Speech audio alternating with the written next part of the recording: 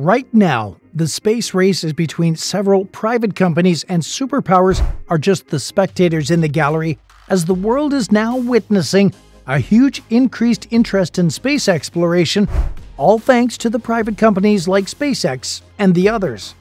NASA stated that the International Space Station will be decommissioned by 2031, and commercial replacement facilities are expected to fill that gap. But China has big plans with their own space station.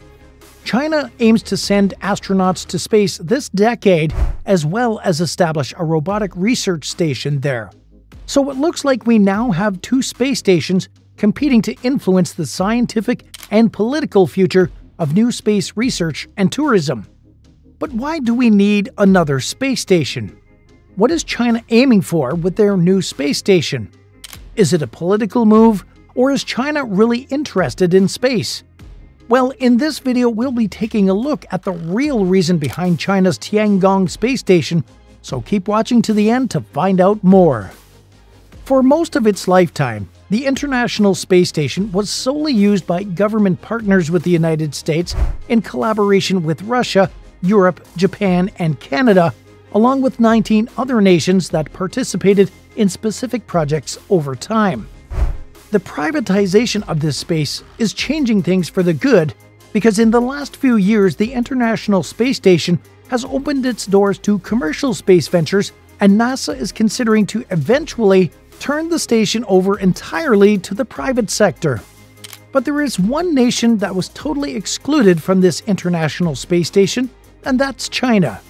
In fact, China was barred as a result of a decision by the US in 2011. This was in response to human rights abuses in China, as well as violation of several intellectual property. But the bigger picture would be the broader geopolitical rivalry between China and the US. So, how did China retaliate? Well, they decided to build their own space station. China is known for their rapid and innovative progress, and the story is no different with China's space industry, because ever since 2016, China has been able to manifest steady improvement in space infrastructure with the completion and operation of the Beidou navigation satellite system, the completion of the high resolution Earth observation system, the steady improvement of the serviceability of satellite communications and broadcasting, and finally, their own space station. The Tiangong station, which means Heavenly Palace, is made up of three main components you have the main Tianhe service module and two laboratories, as well as a variety of docking stations and solar arrays.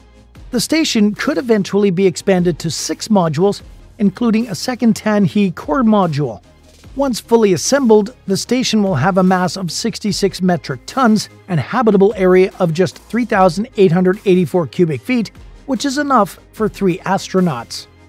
The Tiangong space station will have a target configuration of three modules toward the end of 2022, and this will be expanded to six in the future. So it is clear that China is on to something with such rapid progress in the space industry. China has big plans with the Tiangong space station.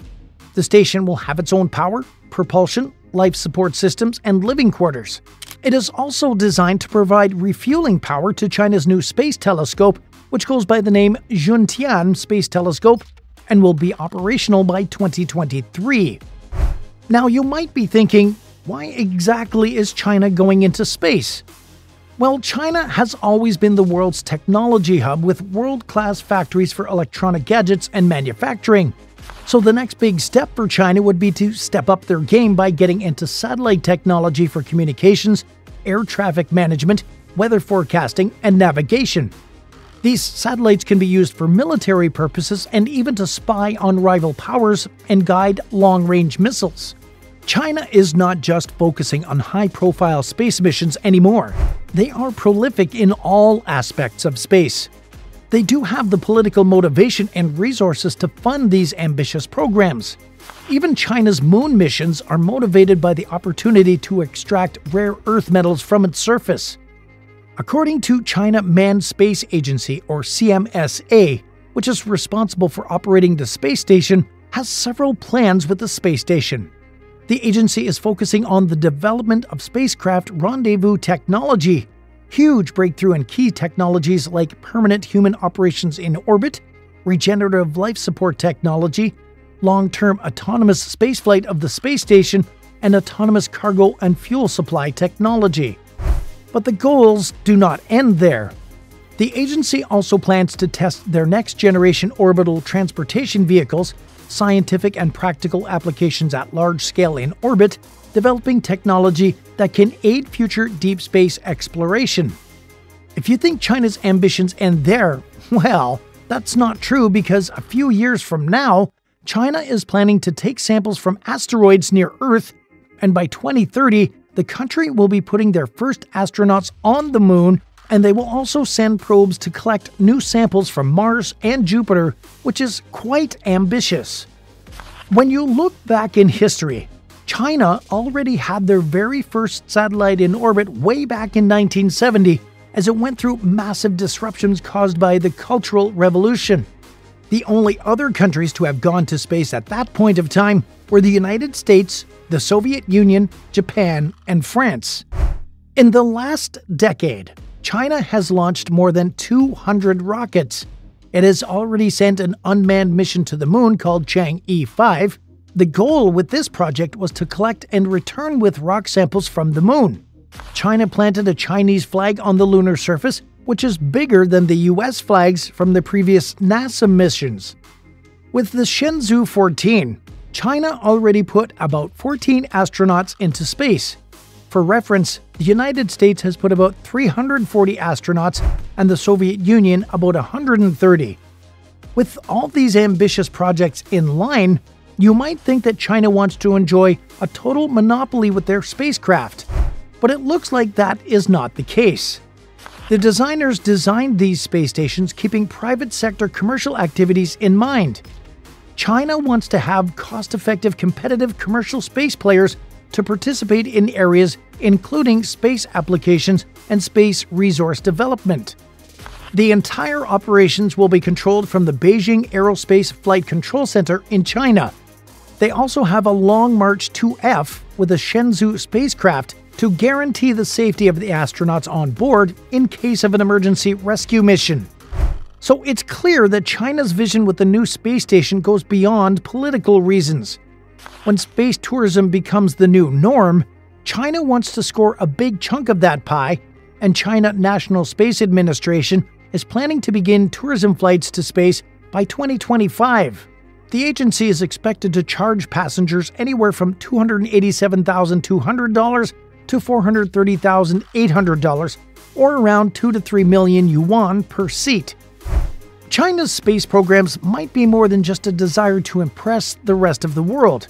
It could be a projection of power and demonstration of technological advancements that China is known for. We also have several exciting projects from NASA, especially the Artemis program, with a goal of putting the very first woman and a man of color onto the south pole of the lunar surface because it's been more than 50 years since humans visited the lunar surface, which makes this program an exciting one. China might want to use their fair share of these explorations, and we also need to wait and see what China has got for us because you can never underestimate what China is capable of, considering how well they're doing with every other domain. A Chinese space station might add new complication to the already existing geopolitical rivalry between China and the US. Maybe it's the politicians that are not so happy about China's new space station, but for the scientific community, they view this as a very important opportunity to expand space based research along with increased scientific access to space, which will benefit the global scientific community no matter which country builds or operates the platform. Ultimately, the Tiangong represents a major stepping stone for China's journey towards becoming a space power that rivals or even surpasses the United States themselves.